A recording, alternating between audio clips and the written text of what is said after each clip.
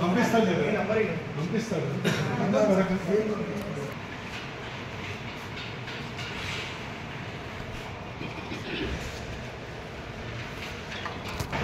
దురదృష్టం ఏంటంటే వాళ్ళ సొంత ఇంట్లో దీక్ష పెట్టినా కూడా వాళ్ళని బలవంతంగా తరలించడం జరిగింది.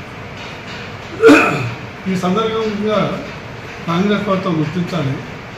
ఈరోజు కేసీఆర్ని గది దింపేదంటే కేవలం గత పది సంవత్సరాల్లో టీఆర్ఎస్ ప్రభుత్వం అప్రజాస్వామికంగా ఇచ్చిన హామీలు అమలు చేయకుండా నిరాహార దీక్ష చేయకుండా ఇందిరా పార్కుని కూడా ధర్నా చౌక్ని కూడా బంద్ చేయడం వల్ల గద్దె దింపడం జరిగింది.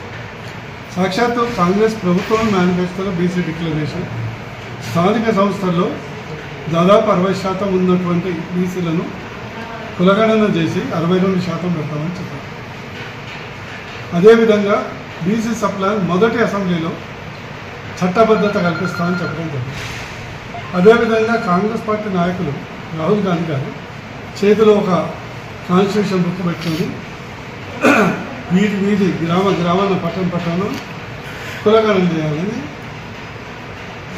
రిజర్వేషన్ పెంచాలని తెలియదు ఇదే రాహుల్ గాంధీ గారు ఇదే కాంగ్రెస్ ప్రభుత్వం ఏదైతే ప్రకటించి కులగణం చేస్తాము రిజర్వేషన్ పెంచుతాము బీసీలకు అని చెప్పి ఈరోజు దాదాపు ఎనిమిది నెలలు అయినా కాలయాపన చేస్తాం రాహుల్ గాంధీ గారు ఆన్సర్ చెప్పాలి.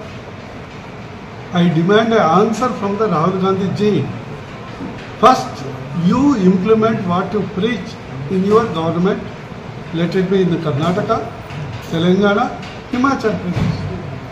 What prevents you to doing కులగణన census of the caste census and increasing the reservation in Telangana Rahul Gandhi garu జవాబు చెప్పాల్సిన అవసరం ఉన్నది